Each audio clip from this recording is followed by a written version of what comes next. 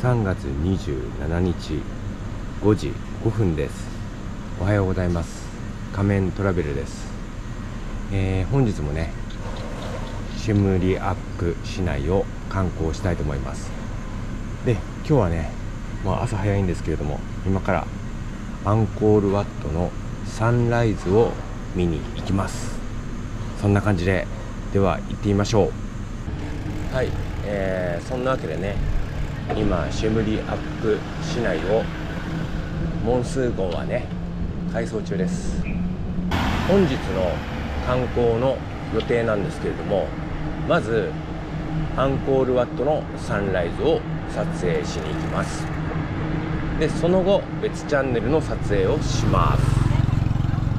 でですね、えー、その後なんですけれどもアンコールワット遺跡群の撮影はもうやらないと思います、えー、理由は2つあってまずね体力的な問題です、えー、まず現時点でちょっとねかなり疲れ気味です。いろいろと疲れ気味です。それはね暑さですやっぱり。暑さでちょっとグロッキーになってます。今は大丈夫なんですけれども多分ね今日の昼間とかはもう撮影する記録もなくなるんじゃないかと思うほどちょっとやばいかなって今感じてます。なのでまずホテルで休む予定です、えー、理由の2つ目が日焼けです。日焼け。でその日焼けなんですけれども、えー、自分今回この旅で顔と手と足は日焼けしたくなかったけど日焼けしてしまったんですね。はい。で T シャツで隠れてる部分とか短パンで隠れてる部分とかは、えー、もちろん日焼けできていないんですね。はい。まあ日焼けできていないって言い方もちょっと日焼けしたくないので、えー、ちょっと言い方がおかしいんですけれども、まあ、日焼けしてないと。はい。でそのね、えー、T シャツとまあその短パンで隠れた部分をもう日焼けさせたいんですねわざと。はい。で昨晩ねあの薬局に行ってサンオイルとかも買ったんでまず日焼けしようかなと。あのー、今ね泊まっているホテルに、えー、プールがあるんで、えー、そのプールで日焼けできていないところを焼ければいいなと思っております。はい。ところで今走っているこの道はチャールズ・デ・ゴールという通りになります、えー、この道はね基本まっすぐ行けばアンコールワットへ行くことができます、えー、ここら辺はね街灯がありますね、えー、昨晩帰る時これよりもっと奥の方に行くと街灯はないです。光に関してはまあ、頼るのはねこの自分のモンスーン号のライトのみですね。真っ暗で GoPro 何も映っていないですよね。あ後ろあ自転車が通過中ですね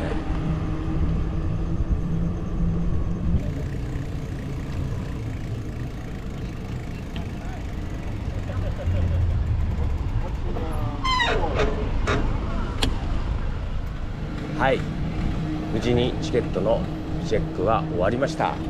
えー、今日はね3日目なんで、えー、3日券使えるのは本日で最後です。はいここがねチャールズ・で・ゴールの終点です。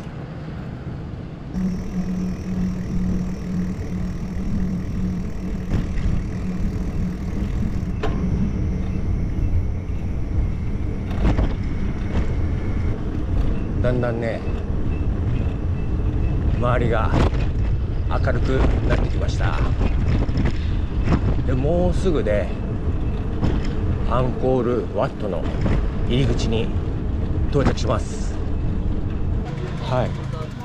えーアンコールワットのね入り口に到着しました、えー、たくさんの観光客でいっぱいです、えー、ちなみにね今現在の時刻は5時40分ですね、まあ、30分程度で、えー、自転車をゆっくりこいでここまで到着しました。ほらあれですよ。あれ。目の前。わかるかな？アンコールワットのサンライズです。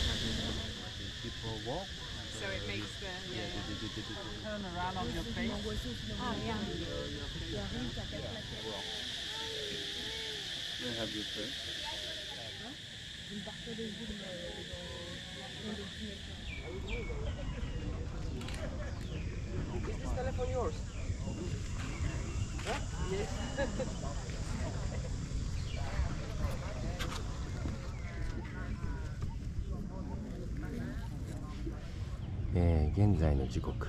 6時6分です、えー、シェムリアップ。日の出時間を過ぎました。日の出時間は6時4分でした。はい。でですねとあるブログを見るとですね絶対に日の出時間から30分は帰らないでくださいと書かれてるんですね。えー、ほとんどの場合は雲が薄くなってちょこっと朝日が顔を出しますというふうに書かれてるんですよ。なので自分もね朝日が出るまで粘ってみたいと思います。はい。日の出時間を過ぎると周りにはほとんど人がいません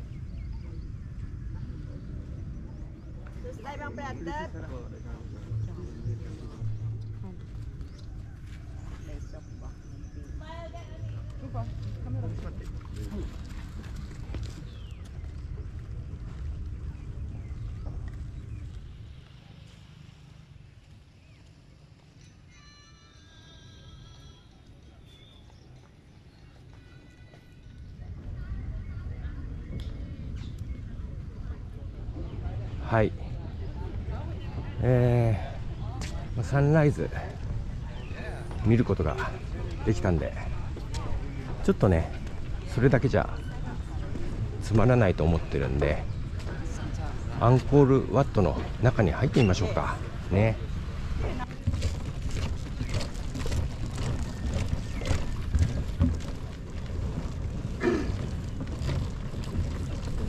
はいアンコールワットへ近づきました。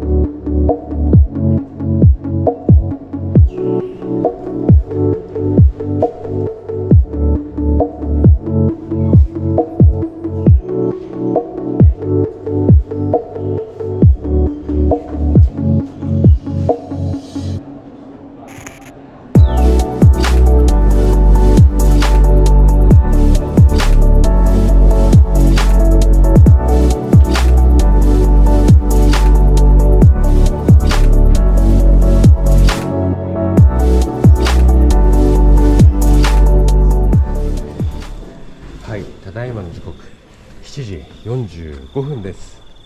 えー、もうそろそろね別チャンネルの撮影に入りたいと思います。そんな感じで一旦ここで終了です。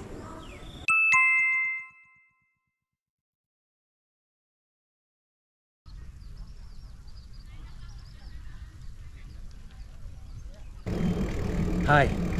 ただいまの時刻。9時33分です。えー、別チャンネルの撮影を終えて今アンコールワットから出てきました、えー、これからねホテルに帰って日焼けします。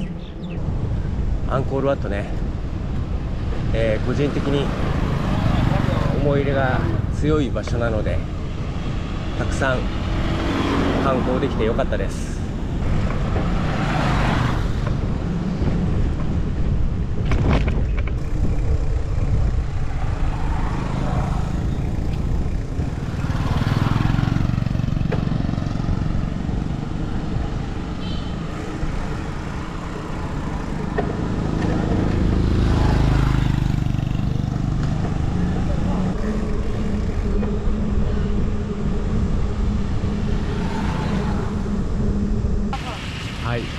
宿にね戻る途中にこの屋台でですねこの正体不明な食べ物を買いました。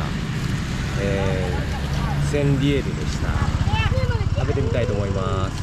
はい、えー、今ね食べてみました。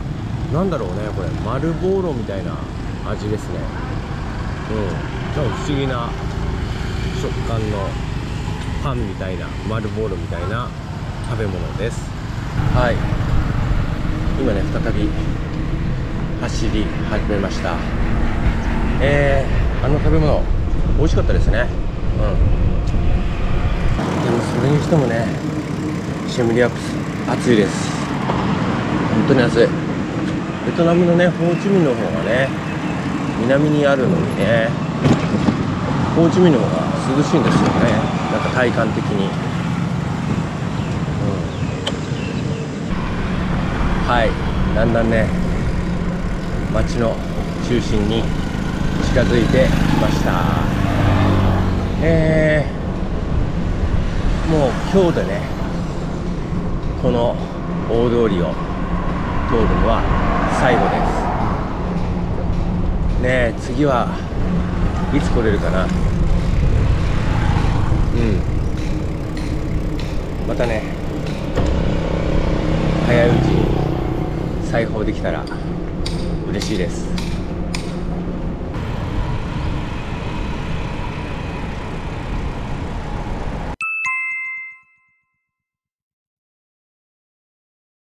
はい。こちらのホテルの中のプールで日焼けします。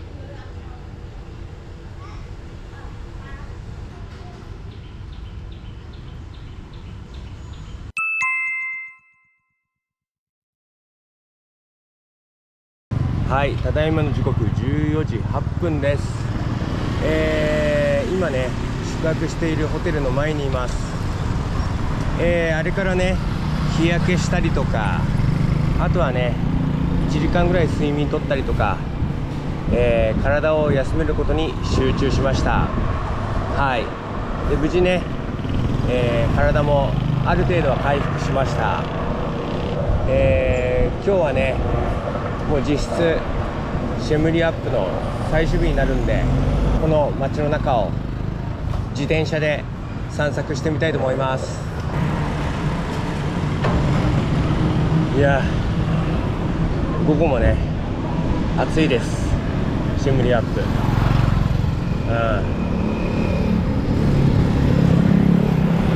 でも面白いですねこうやってね。自転車で。見知らぬ街を走るのも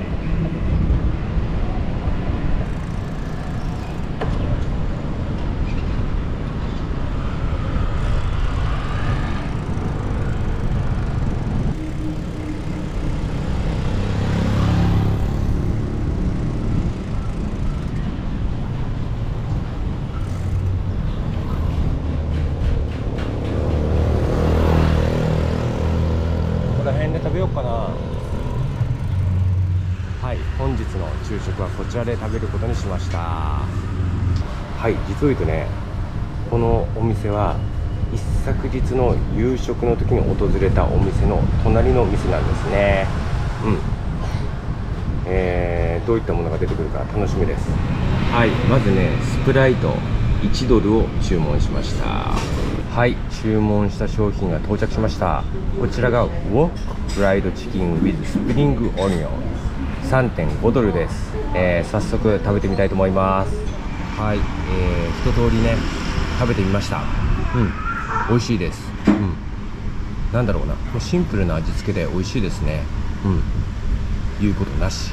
一通り食べ終わりました。美味しかったです。でねこの料理結構見た目よりも量が多いんですよ。うん。なので申し訳ない。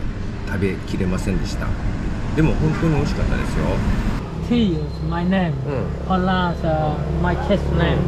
あ OK Yeah. ありがとうございます。で店名はこちらになります。どうもまたまた会いましょう。じゃあね See you again バイバイ.はい。えー、あのお店美味しかったです。うん。えー、量がねまあ多かったので全部食べきれなかったんですけれどもうん本当に美味しかった。もしね皆さんがあのシムリアップに立ち寄った時には寄ってみるのもいいのではないでしょうか。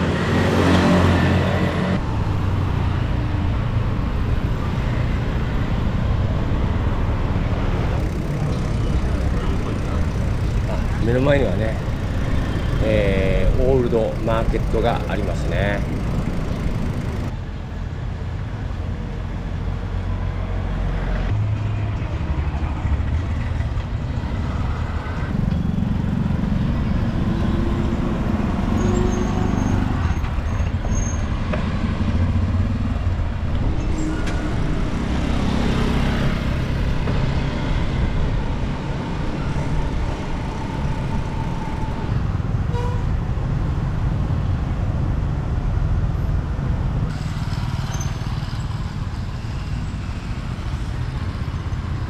だいぶ自転車を漕いでかなり疲れたんでこのねノイカフェっていうところでコーヒーでも飲みたいと思います。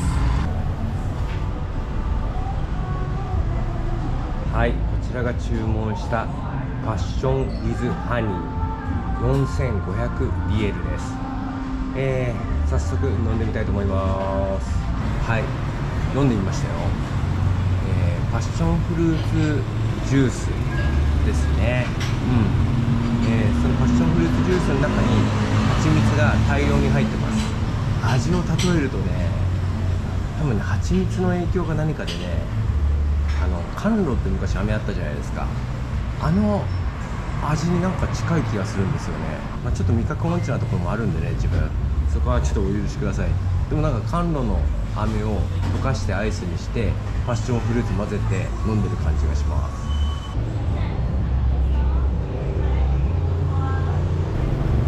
バイバイ。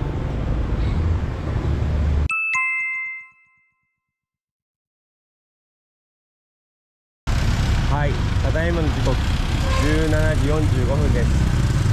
えー、先ほどねカフェで休憩してからその後ホテルに戻りました。でホテルでやるべきことをやって夕食を食べにまた外に出てきた感じです。これからね夕食でも食べに行こうと思います。はい、えー夕方のシェムリアップ。とても涼しいです。えー、どこら辺食べに行こうか。最後なんですよね今日が、うん。まあ、できるだけね思い出に残るような食事をしたいですね。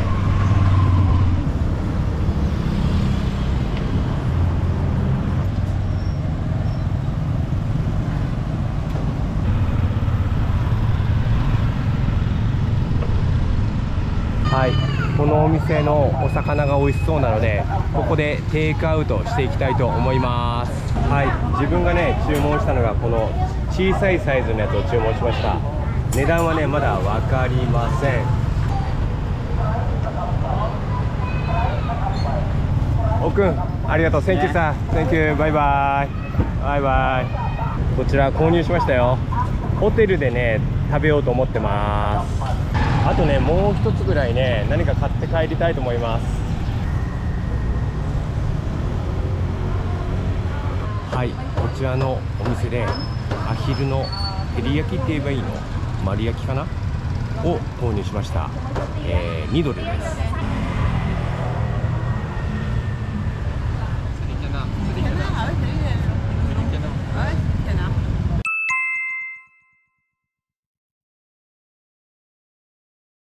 バイバイありがとう。Thank you バイバイ。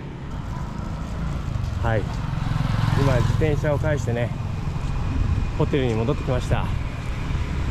え疲れたね。今日はねもう最後の夕食ホテルで食べます。はいこちらがね今宵の夕食になります。えー、まずねこの焼き魚なんていう魚か分かりません。えー、料金が1万3000リエルでした。でこれがねこの焼き魚についてきた、まあ、野菜ナスとかねきゅうりかな？が入ってますね。うん。これが、えー、焼き魚に使うまあソースですね。とこれなんだろうね。ニンニクとか赤唐辛子かな。うん。はい。こちらがね8000リエルまあ2ドルですね。のアヒルのなんだろうこれ丸焼き？アヒルの足の丸焼きだね。になります。はい。とりあえずね全部美味しいです。うん、えー、文句のつけようがない。特にねこの焼き魚？美味しいです。えっ、ー、とね焼き魚のわかるかな？お腹の方香草が仕込まれてるんですよ。うん。まあ、この部分だけは香草臭いんですけどあとはね普通の塩焼きでね美味しいです。でたまにこの香草の部分がえー、口の中に混じると味がね爽やかになります。はい。このねアヒルのね足の割り焼きも美味しいです。うん。まあ細かい食レポは気にせずもうどれも美味しいんでうん。ガンガン食べたいと思います。